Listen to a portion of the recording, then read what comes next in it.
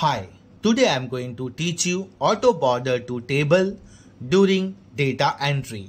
You are able to see I am typing and table has been created automatically. Let me teach you how to do this. Subscribe Samir Sir KT Software. Hello everyone, this is Samir Sir. Let's open MS Excel and into the spreadsheet, let me teach you how to create auto border you are able to see a nice table in front of you which is occupying four columns. Select all these four column columns from top and go to home condition formatting and new rule. A nice dialog box is in front of you. Go to the last option, use a formula to determine which cell to format. Below that one text box is there which is having format value where this formula is true. Put your mouse cursor there and select ID dollar $h and dollar $2 will come.